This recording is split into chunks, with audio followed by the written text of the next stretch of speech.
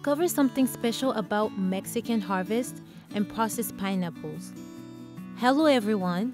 When it comes to the beautiful land of Mexico, many people will immediately think of a super rich culture.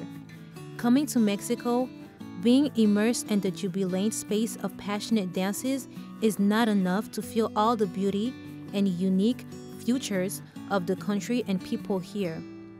Mexico is also special in the specialty of tequila, a famous wine in the arid Mexican highlands ready to captivate anyone's tongue after once enjoying.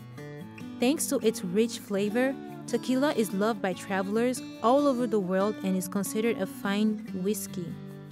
Know a lot about tequila, but do you know what special ingredients this wine is made from?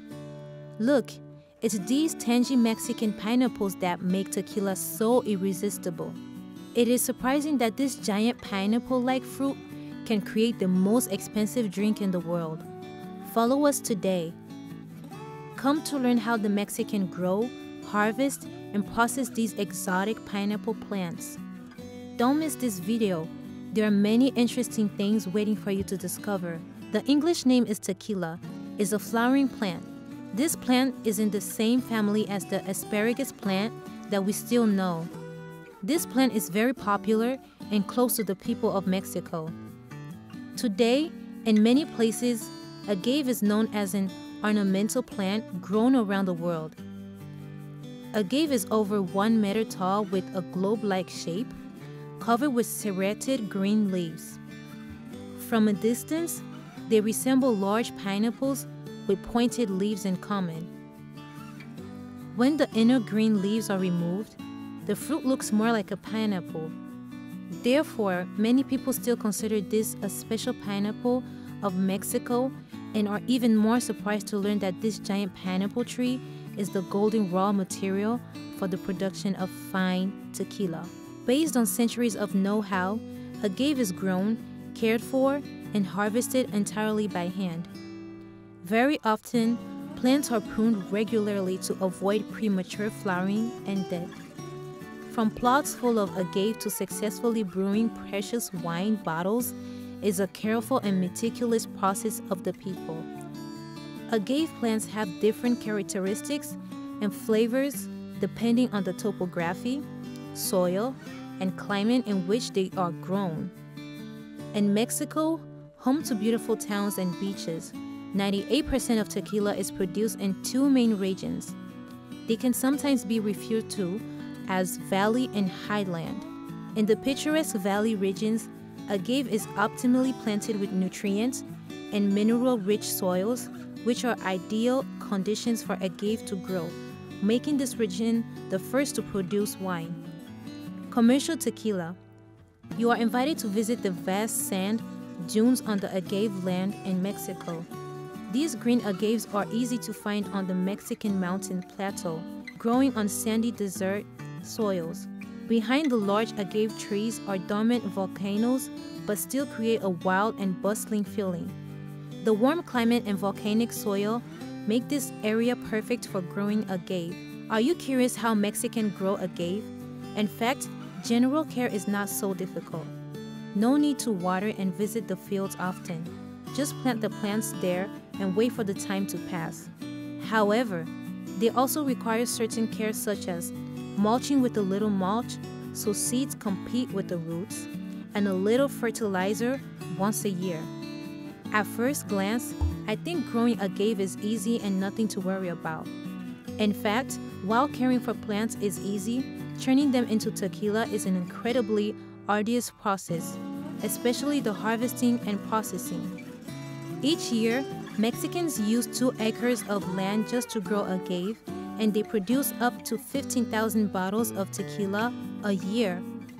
Imagine an extremely sturdy agave tree nearly 2 meters tall, and it takes 8 to 12 years for it to form a pineapple shaped heart in the center like this.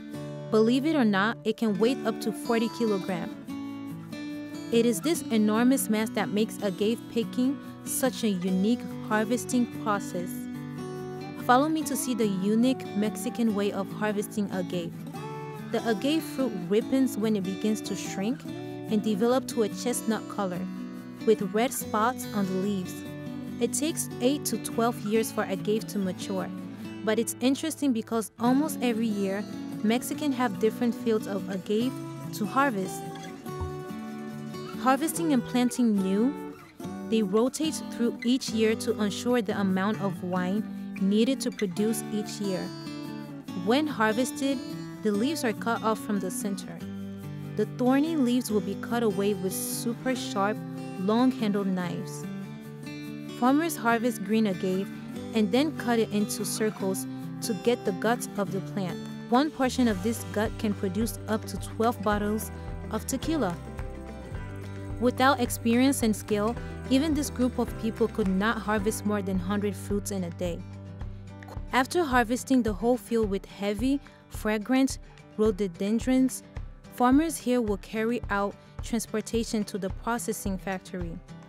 If you don't know, in the past, Mexico used to use donkeys to transport after the harvest, but today, a series of specialized trucks will support very fast transportation. Harvesting is not the end of the process of growing agave on Mexican soil. Many people pay attention to turning them into tequila with a distinctive flavor. First, people will use a saw to cut off the tough, prickly leaves, revealing only the core of the fruit, which is often called the heart of the agave tree. And now, these hearts will be steamed for three days. You see, they finished steaming the fruit and started crushing it. Put the rhododendron carcass into a specialized extractor to break the fibers in the fruit. Squeeze it out and get all the juice from the inside. Melting.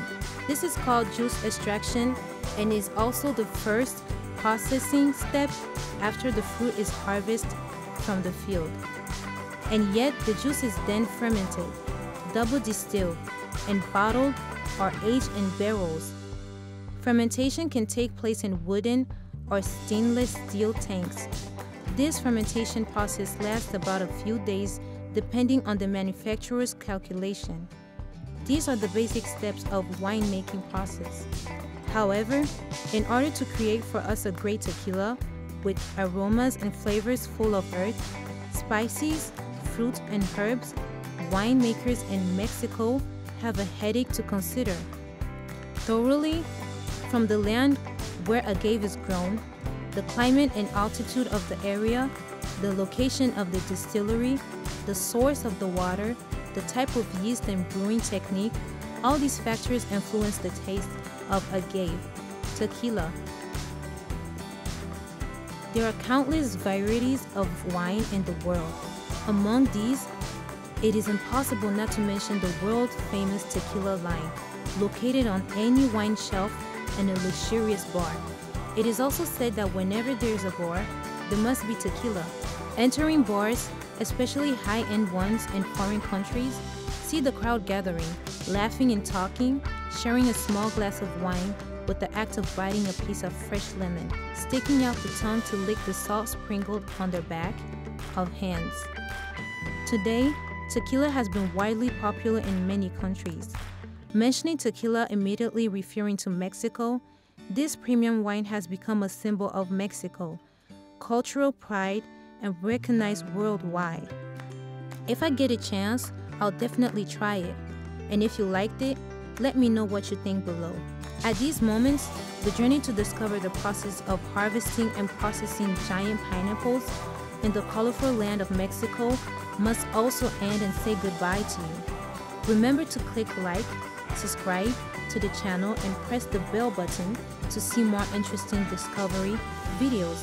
Goodbye and see you again